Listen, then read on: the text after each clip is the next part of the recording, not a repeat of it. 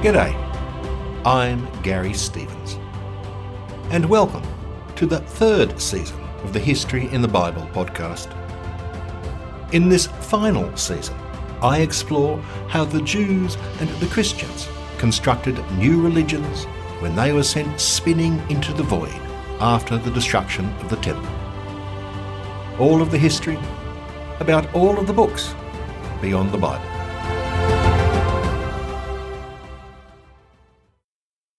Episode 3.27 The Last Heirs of Abraham, Part 1. In my final episodes, I want to follow the history of the heirs of Abraham through to the year 200.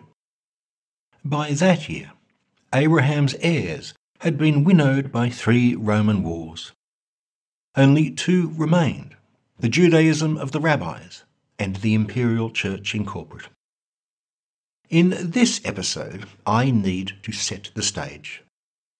And to do that, I have to return to the very beginning. I should warn you I have a lot of callbacks in this episode, just to remind you what you missed. Please bear with me. The book of Genesis tells the story of the origin of the Hebrews. The saga starts with Abraham, the first Jew. God made Abraham his favourite and gave him the land of Canaan for his own. Abraham had many offspring. Genesis paints a plausible picture that these earliest Hebrews worshipped at local improvised shrines. The book goes on to describe Abraham's descendants moving to Egypt. This is wholly credible. Archaeology shows us that there was constant intercourse between the Levant and Egypt. The book of Exodus holds the Hebrews were kept captive in Egypt for many generations. After God returned from his extended tea break of four centuries, he appointed Moses and his brother Aaron to lead the Hebrews back to Canaan. Later Jewish commentators strained to connect the name of Moses to the uncommon Hebrew word Moshe, to draw out of, say, water. These days, scholars link it to a root found in the classic Egyptian names Thutmose, Ramesses, and Ahmose. A root that could be either be son or gave birth, as in Ramesses, the god Ra gave birth, or son of Ra. For theological reasons, a journey that should have taken a few weeks was stretched to 40 years. To hear more about that great story, check out episode 1.14 Exodus 2 Leaving Egypt. According to Exodus, Moses was the first to know God's personal name and the first to receive the details of the contract that would bind God, the people, and the land. According to much later Jewish thought, the fine print of this covenant was entrusted to Moses' rabbis. For unclear reasons, they decided to pass down the fine print orally rather than write it down. Moses led his people to the borders of the Promised Land. God forbade him to enter it. That task was left to his successor Joshua. According to the book named after him, Joshua led a vicious war against the Canaanites, resulting in complete victory for the Hebrews. Modern scholarship has nothing to say of where the patriarchs and Moses and Joshua can be located in the archaeological record. Nothing really works. Somewhere in the Bronze Age. And maybe Joshua can be located just after the Bronze Age collapse. The evidence is that the ancient Hebrews were Canaanites from the hill country, alongside the River Jordan. This rough country became a refuge for Canaanites fleeing their burning coastal cities during the Bronze Age collapse. For more on that, rewind to episode 1.6 Canaan of the Patriarchs. But surely the ancient Hebrews were not just highland Canaanites. No, they were not. One synthesis of the evidence argues that the collection of Canaanite tribes that would later become the Israelites did include an outside group that emigrated from Egypt at some unknown time in the late Bronze Age. It was the incorporation of this community that transformed some of the highland Canaanites into the Israelites. The emigres brought with them stories of the great storm god Yahweh, stories they had picked up on their travels through the lands south of Canaan.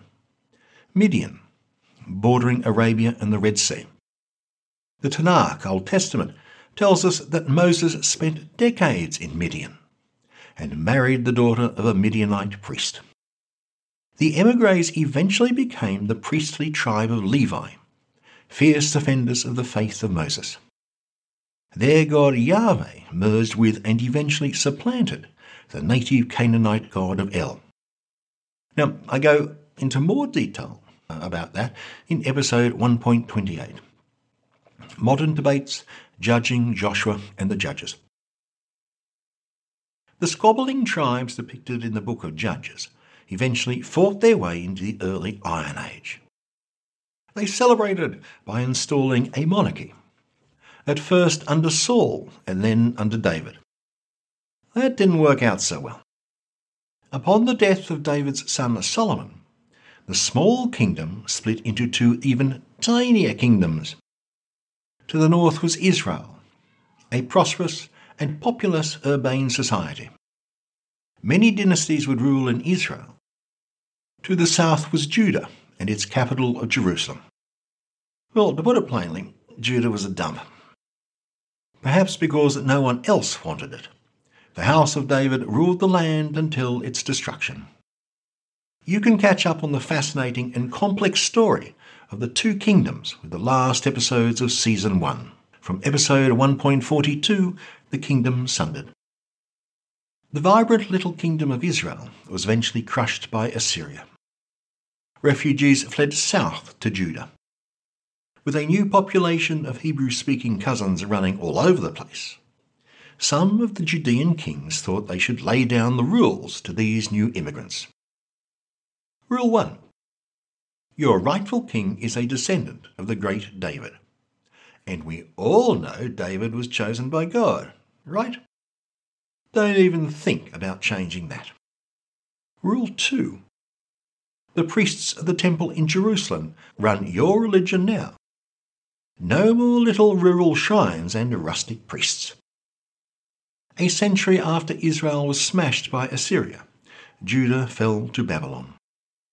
Its inhabitants were deported. The survivors were taken to cosmopolitan Mesopotamia. As we know from recently excavated tablets, the exiles prospered, learnt letters, and began to put their stories down on papyrus. Fifty years after the Great Deportation, Persia conquered Babylon in an almost comical way. For more on the oddball last ruler of Babylon, Tune into episode 2.4, Leaving Babylon Part 2 Cyrus and the Mystery of Sheshbazzar. The new Persian overlords of Mesopotamia freed the exiles. Go home, they said. The Judeans were loath to leave a fertile and cosmopolitan country. You could catch a musical revival and buy a falafel dinner any time you liked. Canaan had none of those attractions. After many fitful starts, some of the Judean refugees returned to the Promised Land. There they created a new temple to replace the one that Solomon had built and that the Babylonians had destroyed. And so we enter the Second Temple period. The returnees brought back not only themselves and their goodies, but a new theology. And for more on that, rewind to episode 2.3, Leaving Babylon Part 1, the Ezra Muddle. During this period, the priest scribe Ezra reconstructed Judaism. The prophets were long since silent. The last scions of the holy Davidic monarchy had vanished in Babylon. From now on, there was only the Torah, the law. Ezra said that neither kings nor prophets were the sources of authority. Only the law was. All the old traditions of the divinely appointed monarch and the centrality of the covenant were submerged in the concept of the law. The law was God's special gift to the Jews. The custodians of the law were the high priests. They became the pivot of all political struggles. From Persian times onwards, the office of high priest was the kingly chess piece contested by the Jewish upper classes and Jewish factions.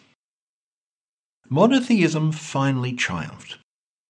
We have an abundance of archaeological evidence for polytheistic practices amongst the Hebrews before the exile. Judah is littered with votive statues to Astarte, God's wife. There is almost no evidence for polytheism after the return. By the time the Jews had decided there was but one God for all the world, they also decided he was completely unlike all those fake gods their neighbours worshipped. Utterly transcendent, utterly beyond the experience of humankind. God could not be depicted as a statue or some sort of icon. Even his very name could not be spoken. The Judeans spent a blissful two centuries under benign Persian patronage. And for more on that, hearken back to episode 2.7 Under Persia, Farewell to the Old Testament. They established laws and government under the high priest of the temple, a perfect theocracy, indolently overseen by a distant and indifferent Persian satrap. The happy and harmonious administration of the Persians was rudely ruptured by the invasion of Alexander the Great. Although Alexander himself would not long rule, his Macedonian successors would, for centuries. As it had been during the ancient Assyrian and Egyptian rivalries, Judah was ping ponged between two great powers, one to the south and one to the north. The Jews' first Hellenistic rulers were the Ptolemies of Egypt, Successive waves of immigrants from Judea to Egypt show that the reign of the Ptolemies was liberal and inviting. The many Judeans in Egypt embraced the Greek tongue. Just two generations after Alexander had brought the Greek language to Egypt, most Alexandrian Judeans had lost a working knowledge of Hebrew. They could not understand their own scriptures. The story goes that one Ptolemaic king had the Tanakh translated into Greek for their benefit. The Judeans spent a more or less relaxing 130 years under the tutelage of the Ptolemies. Their repose was impolitely interrupted by the Greek Seleucids, who dominated everything from Syria to Babylonia. The Seleucids claimed Judea as their own. They brought a very different style of rule. Where the Ptolemies had left the Judeans to their own devices, the Seleucids demanded Greek governors. Where the Ptolemies ruled with a light touch, the Seleucids were heavy handed. The Judeans eventually revolted against their boorish masters and briefly achieved an independent native state under the Maccabees. The Maccabean rulers soon became Hellenized. Their last rulers were squabbling incompetents Look, for more on those nitwits, check out episode 2.15 The Rise and Ruin of the Maccabeans. During Hellenistic and Maccabean times, the Judeans established communities throughout the eastern Mediterranean, as far afield as Rome and Cyrenaica, modern Libya. They were especially populous in Egypt and the island of Cyprus. In his missionary work, Paul encountered many Judean communities in Asia Minor, which is modern Turkey, and Greece. Dispersed as these communities were, most regarded the temple as the great axis of their world. Male Judeans everywhere paid an annual tithe to the temple. Nice work if you can get it. Judean men were supposed to attend the temple three times a year at the great festivals. Still, Quite a few of the factions thought the temple was an axis of evil. Although obliged to acknowledge its power and symbolic force, many sects held the fat cat establishment in contempt.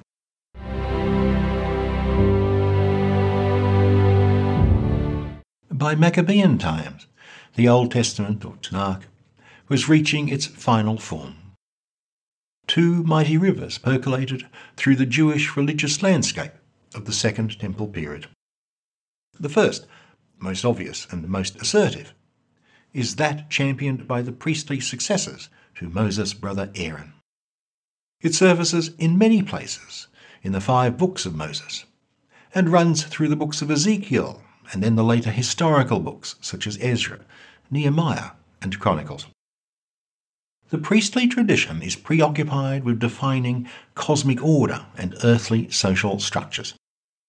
It creates a hierarchy of the good at the pinnacle God, then the priests, then the Levites, followed by male Jews, then female Jews, and finally Gentiles. The tradition defines and enforces boundaries between the holy people and outsiders. Violating these boundaries can lead to disastrous consequences. In the end, God will forgive these violations and make all right. Alongside this mighty current runs a tradition of wisdom literature.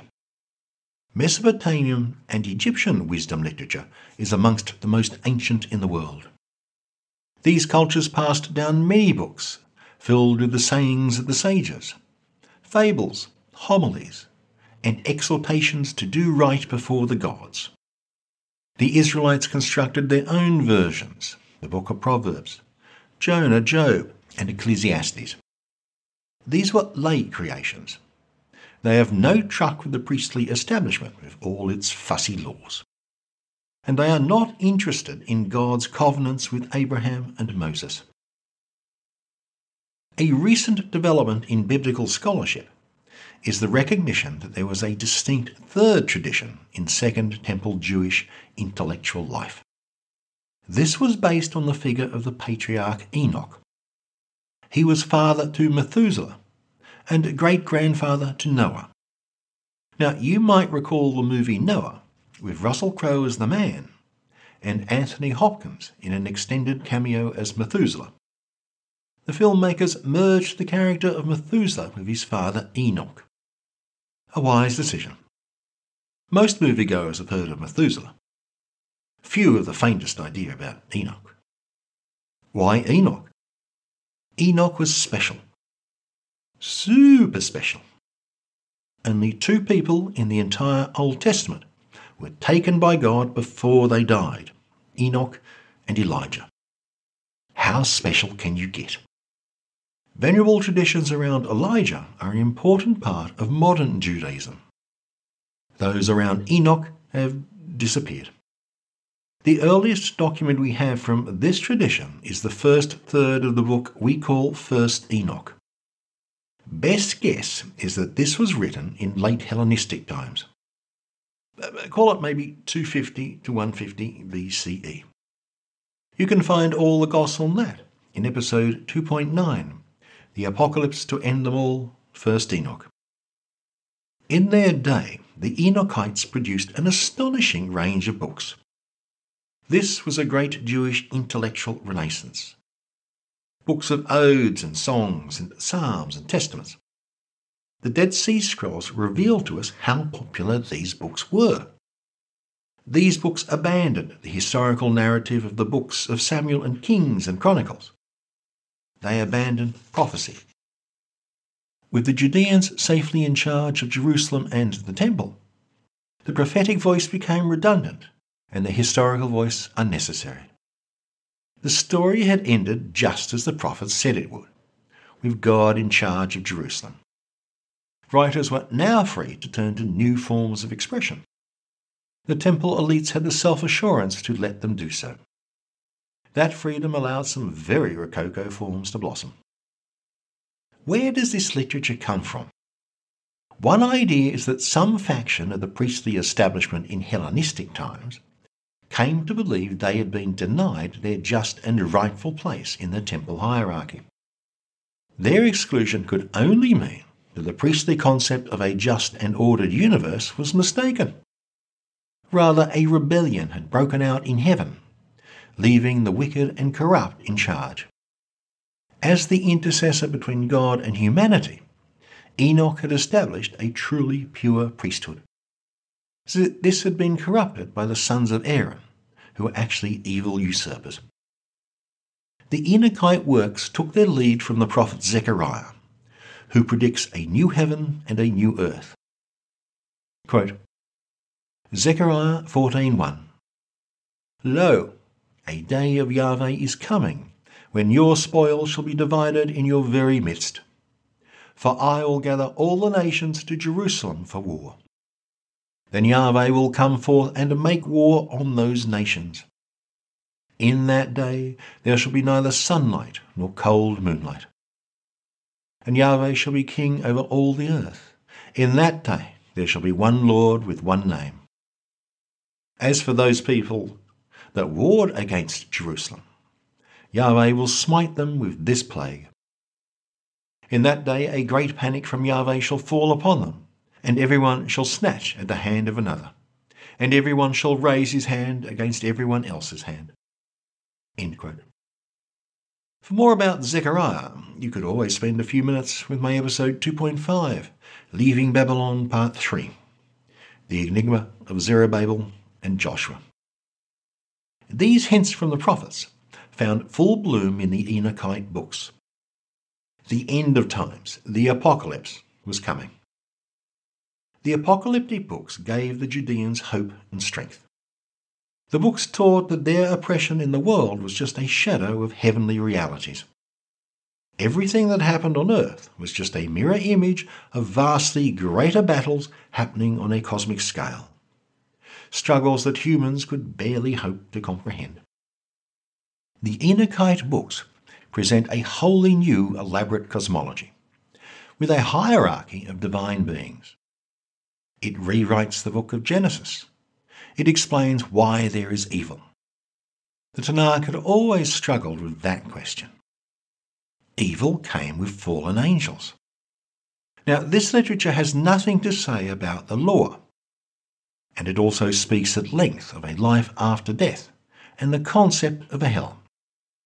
All these were novelties. The works also reject the Second Temple as impure in a striking rejection of the entire priestly establishment. The books said that the oppressed could resist until God intervened in history with his angels and divine armies, alongside which the righteous would fight. The worldly powers might seem powerful now, but they were puny compared to the vast heavenly forces that would one day be unleashed upon them. The Enochite writings of the Second Temple period would have been unrecognizable to Abraham and Moses and David. The Old Testament God was just. The Enochite God was vengeful. Their God had long ago lost interest in conversing with his chosen people he evaporated into a philosophical haze. As God turned into some sort of numinous Platonic ideal, his activity in the world was delegated to angels.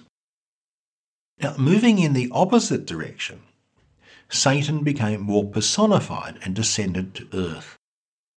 The Old Testament was adamant that Satan was a divine functionary. He was God's faithful employee and prosecuting attorney.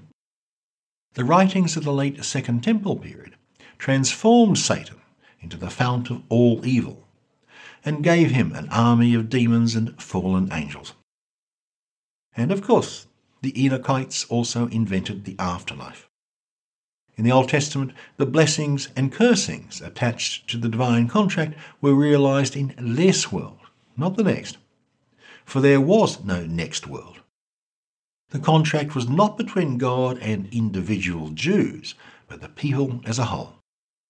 The Enochite authors contemplated the idea of a life after death and a personal resurrection from the dead.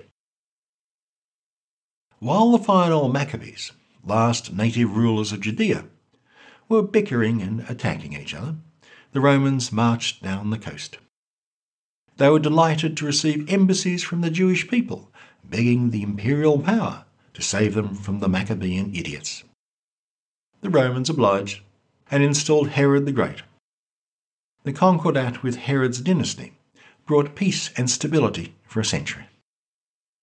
For that hundred years, Rome was no enemy to the Judeans, but a friend.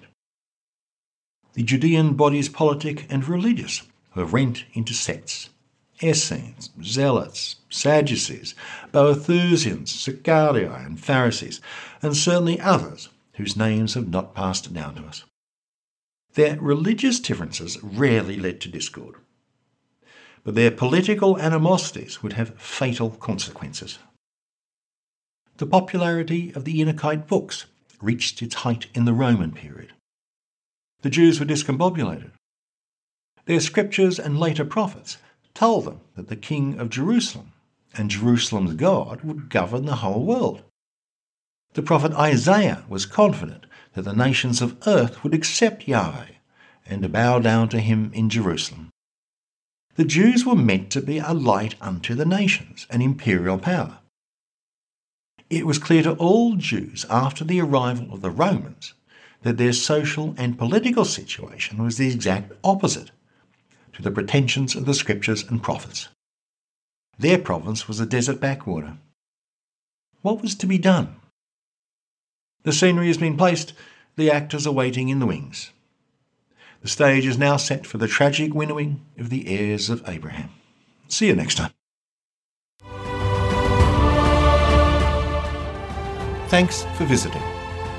For show notes, maps, charts, and timelines, visit my website at www.historyinthebible.com. You can even download professional posters for free.